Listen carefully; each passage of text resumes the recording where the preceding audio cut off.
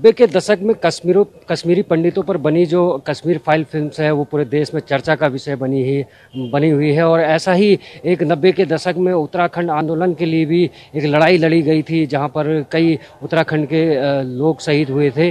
तो अब उत्तरा, उत्तराखंड देहरादून के एक युवा अभिषेक भट्ट हैं, जो उत्तराखंड आंदोलन पर अब उत्तराखंड फ़ाइल के नाम से फ़िल्म बनाने जा रहे हैं और इसके लिए उन्होंने तैयारियाँ शुरू कर दी हैं। वो हमारे साथ मौजूद हैं। आइए उन्हीं से जानते हैं कि किस प्रकार की तैयारियाँ अभिषेक ने उत्तराखंड फ़ाइल फ़िल्म बनाने के लिए शुरू की है। जी अभिषेक, किस प्रकार की तैयारियाँ की गई हैं आपके पास? सबसे पहले तो मैं आपको धन्यवाद करना चाहूँगा कि आपने इस मुद्दे को उठाया।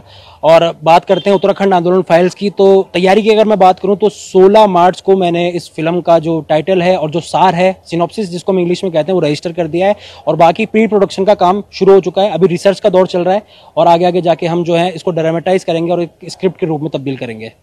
अभिषेक अभी कब तक पूरा खाका इस फ़िल्म का तैयार हो जाएगा? कब तक लगता है आपको कि कब तक आप इसको पर्दे पर ले आएँगे? मैं एक उचित तारीख तो नहीं बता पाऊँगा लेकिन प्रयास यही रहेगा कि 2024 तक ये फ़िल्म जो है आप सभी के सामने पेश हो और सिनेमा हॉलों के पर्दों पे उतर जाए। अभिषेक थोड़ा अपने बारे में भी बताइए कि आप क्या करते हैं किस प्रकार आपका क्यों आप चाहते हैं कि उत्तराखंड आंदोलन पे भी उत्तराखंड फाइल्स फ़िल्म बने? जी, सबसे पहले तो मैं ये कहना चाहूँगा कि हम उत्तराखंड के रहने वाले हैं। बचपन हमारा यहीं बीता है, पैदाइश हम यहीं के हैं।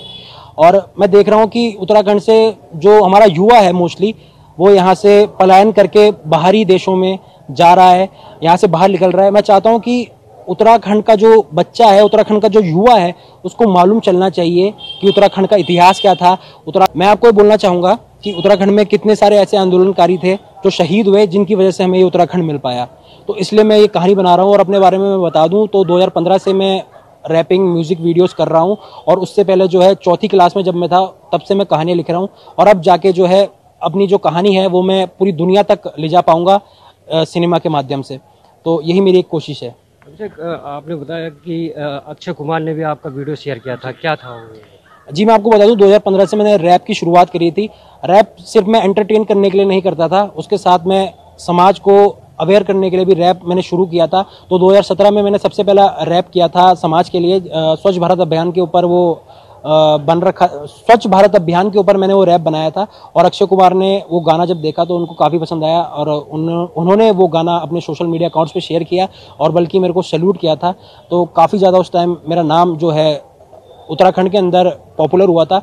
उसके बाद मैंने सोचा कि क्यों ना कुछ नया किया जाए और इसलिए जो है आज उत्तराखंड आंदोलन फाइल्स की तैयारी है और पूरा देश जागरूक होने वाला है कि उत्तराखंड के अंदर हुआ क्या था, उत्तराखंड का इतिहास क्या है। ये हमारे साथ दून के अभिषेक भट्ट थे जो कि जल्द ही उत्तराखंड फ़ाइल नाम से उत्तराखंड आंदोलन पर एक फ़िल्म बनाने जा रहे हैं और इनका कहना है कि 2024 तक ये उत्तराखंड आंदोलन की इस पूरी मूवी को पर्दे पर ले आएँगे। विपिन नेगी ई भारत, देहरादून।